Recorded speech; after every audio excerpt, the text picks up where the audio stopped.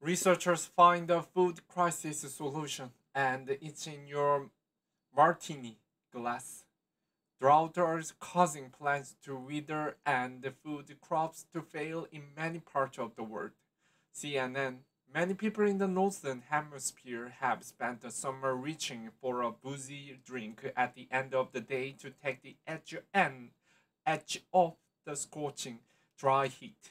It turns out that the tipple may be just what plants need to. The peer-reviewed study published Thursday in the journal Plant and Cell Physiology suggests that ethanol or alcohol can help the plant survive in times of drought, even for as long as two weeks without water.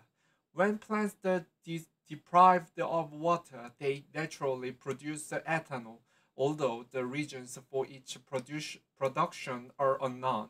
It led researchers from the Riken Center for Sustainable Resource Science in Japan to theorize that giving alcohol to plants maybe protects them from drying in the drought. The discovery came from the process of searching for compounds that make plants resistant to stress.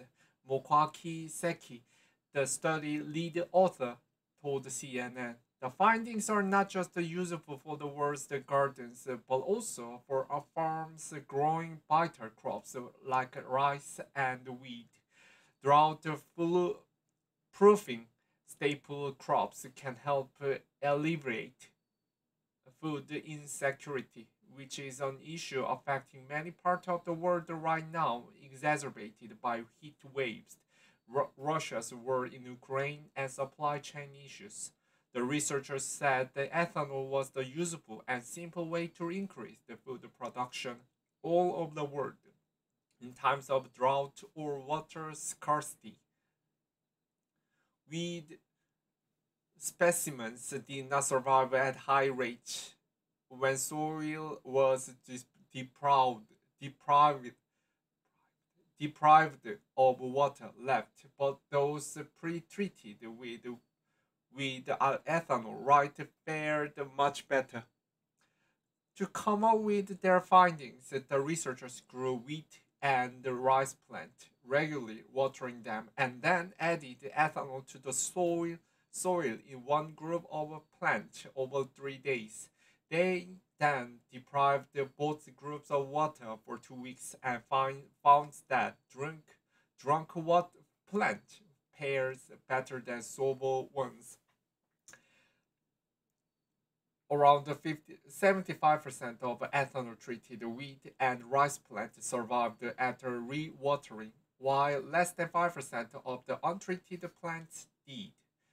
The external application of ethanol to plant would be a usable, simple, and less expensive agricultural method to enhance drought tolerance in various plants, Seki said, as genetic modification of plants would not be needed but he warned that the ethanol needed to be used spar sparingly, as a higher concentration of ethanol inhibit the plant growth. In other words, don't try this at home. They, the study also looked at how ethanol protects a plant using Arabidopsis, a small plant commonly used in experiment the researchers discovered that when ethanol treated specimens were deprived of water, tiny openings on the leaves surface called stomata closed up, retaining water and heat. Seki and his colleagues studied Arabidopsis gene expression and find, found that the ethanol treated plants started behaving as if they were experiencing drought even before they were actually deprived of water.